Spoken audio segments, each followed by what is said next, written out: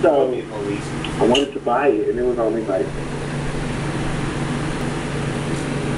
LJ, you better buy three fifty for four hundred dollars. I can't remember which one. Probably four hundred. The? Ooh, Chris Brown. And I had the idea to buy it, but I had to wait like a week.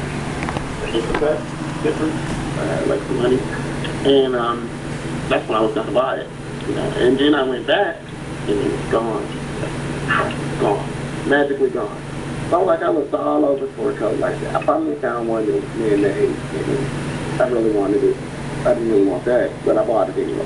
Okay. Oh, look at Dion. That's like mm, It's up ninety that dollars, now. but it was my short shit- crop it's cut. not saying That's you You got it. Anyway, what is my point? Like, tell me again. Oh, so Johnny started selling all kind of furs because I got like a hundred of everything. I didn't think that I really, really wanted. What is my point? Um, um, oh, so I tried to Google that coat and find it.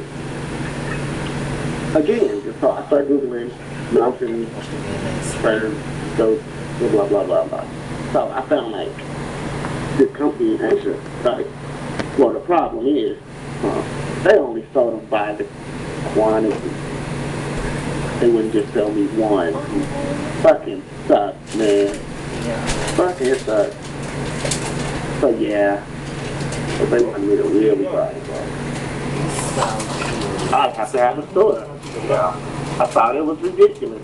Then I thought, if you did that and you, because I'm crazy, like if I could get every color, you know? yeah, right. Shit on. Stop.